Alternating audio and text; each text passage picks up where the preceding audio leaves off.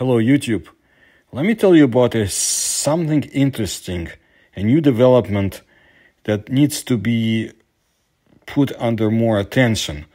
Russian scientists from the Shirshov Institute of Oceanology of the Russian Academy of Sciences have discovered a new and previously unknown underwater lake in the Atlantic Ocean a huge body of water occupies the space from the Brazilian coast to the Gulf of Guinea, near the west coast of Africa. Previously, scientists have repeatedly noted the mixing of waters along the equator in the Pacific and Indian Oceans, but have never detected such a phenomenon in the Atlantic. This study is the result of many years of work by scientists the oceanologists have discovered that the waters of the Atlantic Ocean are like a huge patchwork of interacting masses and layers. They mix and separate due to currents, vortices, and changes in temperature and salinity. The discovery of a new underwater lake in the Atlantic Ocean is important for understanding the processes taking place in this ocean. Firstly, it will allow us to better understand how the mixing of ocean water occurs. This is important for understanding the distribution of heat and oxygen in the ocean, as well as for weather and climate forecasting. Secondly, the discovery may have implications for marine biology. The reservoir may be home to many previously unknown species of fish and other marine animals. And I will add something to it as well, but a little later. In the future, scientists plan to continue exploring the new lake. They want to find out how it affects the distribution of heat um, and oxygen in the ocean, as well as marine ecosystems. Scientists also plan to study other oceans to find out if there are similar lakes in them. They might also find either cryptids or strange underwater craft there. Look, I've done a lot to collect materials for my uh, and Philip Mantle's, uh, our joint book, Russia's USO Secrets. And uh, for decades, I've talked to former Soviet sailors, and um, I talked to sailors around the world. I did my best to collect the information, and I'm proud of that book, but I did not ignore developments in other navies around the world as well.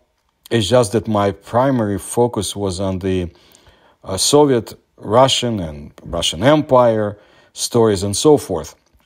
Nevertheless, I've kept some notes, and here's what I want to read you. It's an extract from the log of H. A. H. Raymer, second officer of the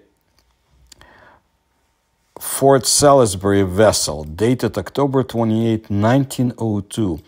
It was quoted in the Zoologist magazine in January of 1903. And this sighting took place in the Gulf of Guinea.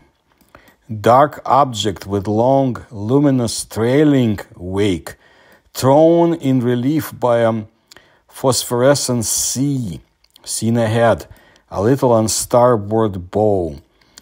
Lookout reported two masthead lights ahead. These two lights, almost as bright as the steamer's lights, appear to shine from two points in line on the upper surface of the dark mass. Concluded dark mass was a whale and lights phosphorescent. On drawing nearer, dark mass and lights sank below the surface. Prepare to examine the wake in passing with binoculars passed about 40 to 50 yards on port side of wake and discovered it was the scaled back of some huge monster slowly disappearing below the surface. Darkness of the night prevented determining its exact nature, but scales of apparently one foot diameter and dotted in places with barnacle growth were plainly discernible.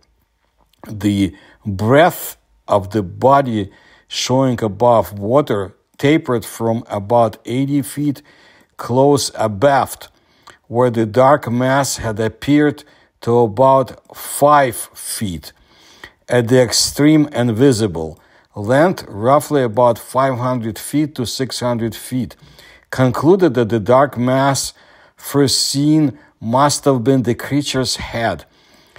The swirl caused by the monster's progress could be distinctly heard, and a strong odor like that of a low tide beach on a summer day pervaded the air. Twice along its length, the disturbance of the water and a broadening of the surrounding belt of phosphorus indicated the presence of huge fins in motion below the surface. The wet, shiny back of the monster was dotted with twinkling phosphorescent lights and was encircled with a band of white phosphorescent sea. Such are the bare facts of the passing of the sea serpent in latitude 5 degrees 31 minutes south, longitude 4 degrees 42 minutes west, as seen by myself being officer of the watch and by the helmsman and lookout man. The ship's master added, I can only say uh, that he is very earnest on the subject and certainly has, together with lookout and helmsman, seen something in the water of a huge nature as specified. Let's look at the history of the Fort Salisbury. It was a passenger cargo ship. Ship. It was launched on 27th of December 1894 and it was completed in March of 1895. The builder was Armstrong Mitchell and Company. Yard was Walker. Yard number 620. History. In 1895, British and Colonial Steam Navigation Company, London. 1900, Bucknall Steamship Lines Limited, London. And then 1913, Andrew Wire and Company, Glasgow, renamed Gujarat. 1913, Booth Steamship Company, Liverpool, renamed Vincent. 1919, Haji MH Nemazi, Hong Kong, renamed Gorgistan, and it was broken up in 1928. And those who were aboard the ship in 1902,